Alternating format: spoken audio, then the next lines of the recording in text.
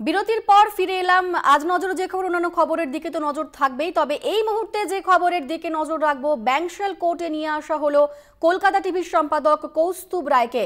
দশ দিনের ইডি হেফাজত শেষ এবং তারপর আজ তাকে কোর্টে পেশ করা হবে।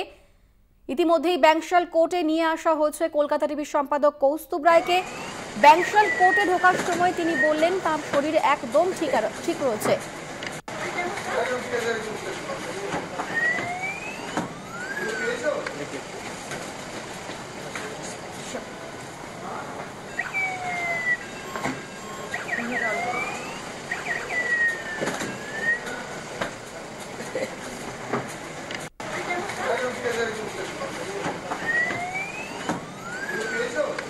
আমরা বিষয়ে জানব বিস্তারিত। আমাদের সঙ্গে টেলিফোন লাইনে রয়েছেন প্রতিনিধি সুদীপ্তা চৌধুরী।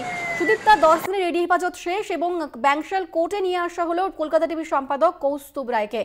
ঢোকার সময় তিনি ঠিক কি বলেছেন? কোর্ট লকআপে নিয়ে আসা হয়েছে কলকাতা টিভির সম্পাদক কৌস্তুভ রায়কে এবং তিনি এই মুহূর্তে কোর্ট লকআপেই রয়েছেন।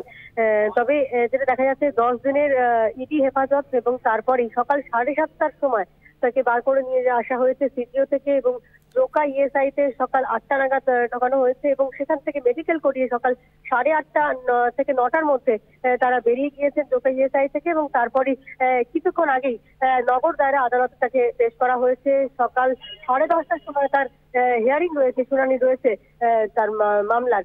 আমরা জানি যে দশ দিন আগে কৌস্তুভ রায়কে গ্রেপ্তার করা হয়েছিল, ইডি গ্রেপ্তার করেছিলেন। মূলত তাদের বিরুদ্ধে অভিযোগ ছিল যে কিংকন অর্থাৎ যে চিটফান্ড সংস্থার কিংকন, তাদের থেকে টাকা নিয়েছিলেন তিনি, তার যে টাকা লেনদেন হয়েছিল তার কোনো হদিস তিনি দিতে পারছেন না।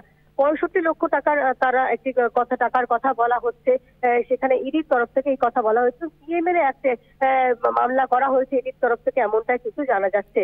সেই পরিপ্রেক্ষিতে গত শুনানিতে আমরা দেখেছিলাম কৌস্তব রায় তিনি নিজে তার হিয়ারিং করেছিলেন, অর্থাৎ নিজে নিজের আপিল করেছিলেন, সেখানে কিন্তু তিনি জানিয়েছিলেন পুরো বিষয়টি এবং তিনি যে রাজনৈতিক চক্রান্তের শিকার হয়েছেন এমনটাও তিনি জানিয়েছিলেন। কারণ বিজ্ঞাপন বাবদ তিনি টাকা নিয়েছিলেন, যে টাকার পুরো হিসেব তিনি দেখিয়েছিলেন।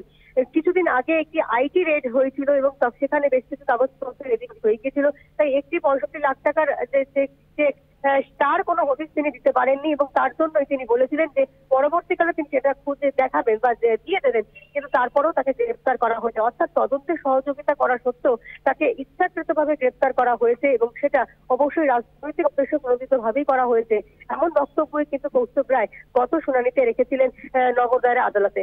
আজকে ফের হিয়ারিং রয়েছে শুনানি রয়েছে কিছুক্ষণের মধ্যে শুনানি হবে কোর্ট শুরু হলেই তার প্রথম মামলা হিসেবেই গ্রাহ্য করা হবে। কৌস্তব রায় মামলাকে আর কিছুক্ষণের মধ্যেই তারাও চলে আসবেন আদালত চত্বরে।